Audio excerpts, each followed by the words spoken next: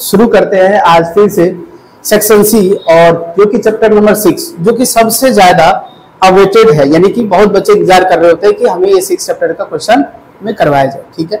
तो चलिए हम सबसे पहला क्वेश्चन लेते हैं, नवनीत का जब चैप्टर नंबर सिक्स का पहला क्वेश्चन देखेंगे तो उसे इंग्लिश में लिखा हुआ है, ठीक है? और मैं उसे हिंदी में आपको समझाने का कोशिश कर रहा हूँ। ये क्या कह रहा है? Prove that the two lines intersect each other the vertically opposite angles are equal यानी दो लाइन अगर आप लाइन समझते हैं तो लाइन का मतलब क्या होता है? ऐसे लाइन खींचिए आप। ये एक लाइन हो गया हमारा, ठीक है? इसे लाइन कहते हैं। इसे हम ए लिखते हैं और इसे बी लिखेंगे। हमने टेढ़ा क्यों लिखा? क्योंकि ये बोला है कि two lines intersect each other intersect का मतलब उसको प्रतिच्छेद करना होता है, ठीक है? तो एक लाइन और हमने ऐसे खींचा और इसे ये प्रतिच्छेद कर रहा है। कहाँ पे? ओ पे ठीक है? दो लाइन जो कि ये सी है और ये डी तो इसे ही कहते हैं इंटरसेक्टिंग ईच अदर ठीक है?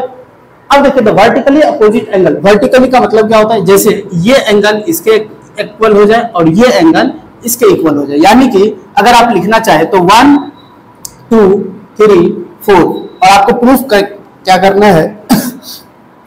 टू प्रूफ यहाँ पे लिखना होगा to prove angle one equal to angle three और angle two equal to angle four ठीक है? आपको ये प्रूफ करना और कैसे करेंगे? तो देखिए, यहाँ से हम लिखेंगे प्रूफ ठीक है? जो गिवन दिया हुआ है, वो तो आपको मैंने पहले समझा दिया।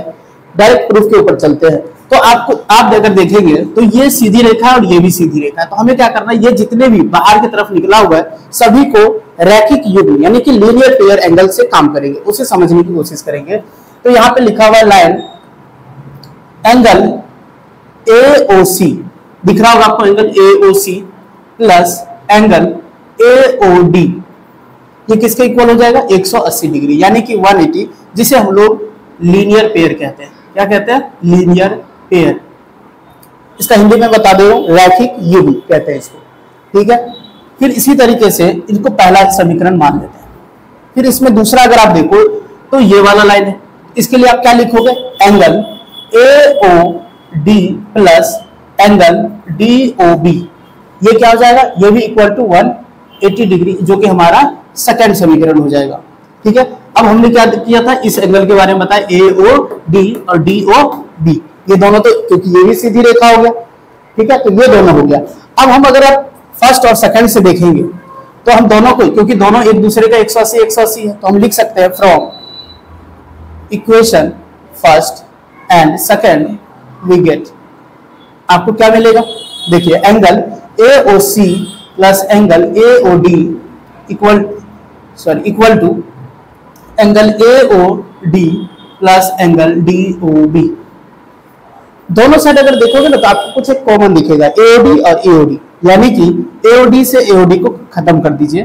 तो इससे क्या आएगा? A O C equal to angle D O B और अगर आप देखिए तो ए ओ सी इक्वल टू क्या है? हमने ऊपर लिखा हुआ था ना एंगल ए ओ सी जो कि एंगल वन है इक्वल टू एंगल और ये जो है डी ओ बी आपका एंगल क्या है? थ्री तो देखिए, ये प्रूफ हो गया ना? क्या बोला था मैंने आपको? टू प्रूफ करना है, और angle one equal to angle three आ गया। अब आपको क्या प्रूफ करना है? टू इक्वल टू फोर तो इसे हम कैसे करेंगे? तो देखिए, आपको क्या लिखना होगा?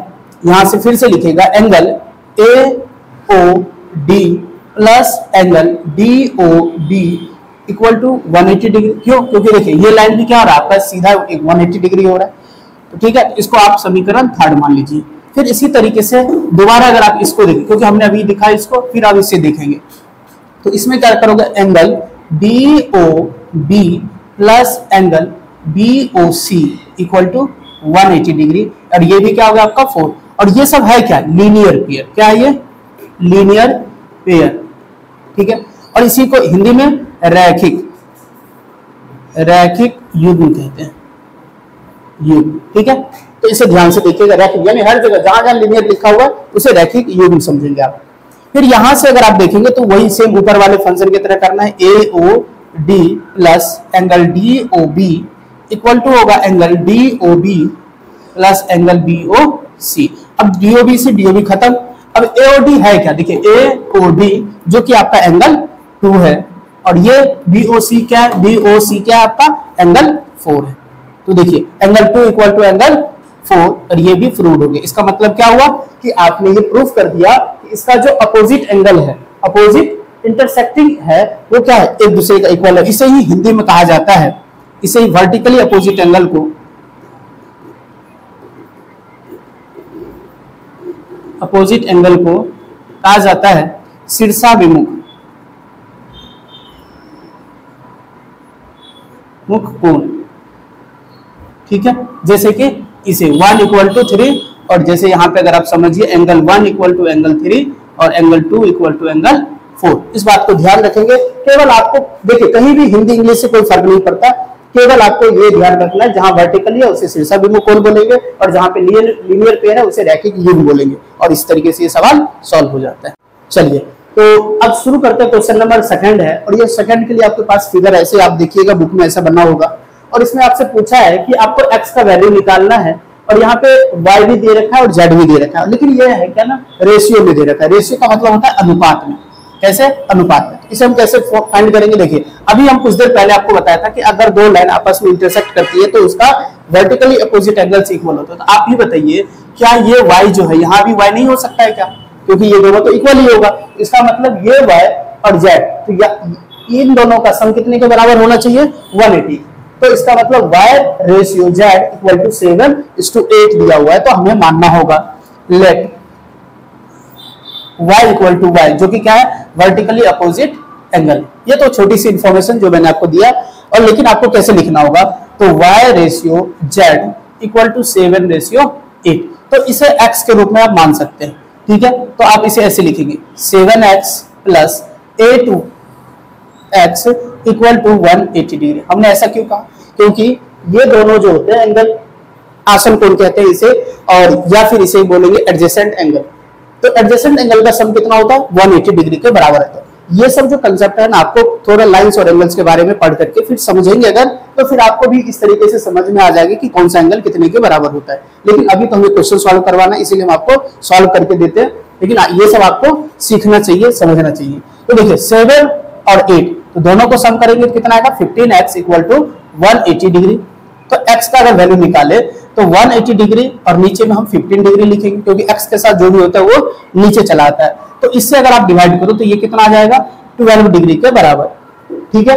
तो ये 12 आया तो x का वैल्यू ये नहीं है। x का वैल्यू तो हमने ऐसे मान लिया था। इसे क्या क्या था? माना था। लेट किया था। क्या क्या था? लेट किया था। क्योंकि रेशियो में जब भी कुछ रहता है तो उसे लेट करना पड़ता है।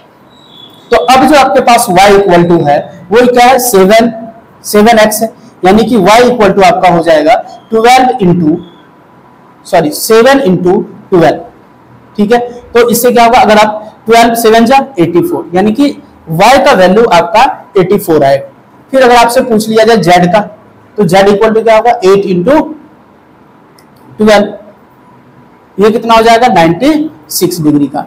लेकिन आपसे तो ये दोनों पूछा ही नहीं। आपसे क्या पूछा है? आपसे पूछा है x का वैल्यू और अभी हमने आपको बताया कि जैसे ये दोनों का सम 180 होगा तो वैसे ये दोनों का सम भी तो 180 ही होना चाहिए। तो उस हिसाब से आप भी बताइए मुझे angle x plus angle y equal to 180 degree होना चाहिए। एंगल x कितना है आपके पास? आपको पता नहीं है। फिर एंगल y आपको पता है, ये 84 डिग्री के इक्वल है। इक्वल टू क्या लिखोगे आप? 180 डिग्री अब angle x equal to 180 degree minus angle 84 degree जब आप इसे माइनस करोगे तो ये हो जाएगा सिक्स और ये हो जाएगा आपका नाइन हाँ नाइनटी सिक्स डिग्री यानी कि एंगल एक्स जो है, वो 96 डिग्री के इक्वल है और यही आपका क्या हो जाएगा? आंसर हो जाए देखिए कितना आसान है। मैंने इसे शॉर्ट कर दिया है। ऐसा नहीं है कि आपको इसी तरीके से थोड़ा बहुत आपको इसमें ध्यान रखना होगा। यहाँ पे जो ये एक्स है ना, ये मैंने रेशियो के लिए लिया है। तो इस बात को खास ध्यान रखना है आपको। ठीक।